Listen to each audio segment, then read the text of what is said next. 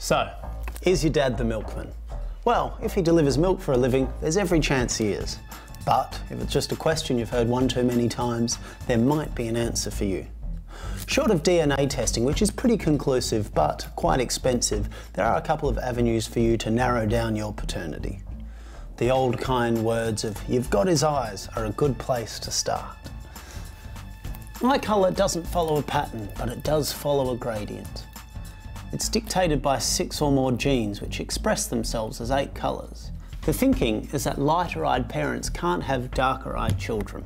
However, natural variations in human genes also have the potential to influence eye colour. So whilst it can be used as a rough guide to paternity, it isn't exactly foolproof. Blood type gives a better, more conclusive answer than eye colour. It's a process of elimination. Say the mother has blood type O and the daughter has blood type B, the father can only have AB or B if the daughter is his. Another avenue is earlobes. Attached earlobes, like these bad boys here, are from a recessive gene. So if both your parents have unattached earlobes, it's impossible for you to have attached earlobes. It's helpful, but vague. There's also the good old-fashioned method of intense surveillance. Watching your potential father closely might show up some shared characteristics or personality traits. But again, there's no real proof there. If you have an inkling, I'd suggest just asking him.